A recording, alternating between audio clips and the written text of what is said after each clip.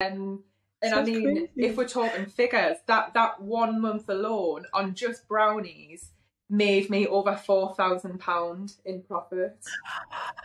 And and I mean, crazy. if we're talking figures, that that one month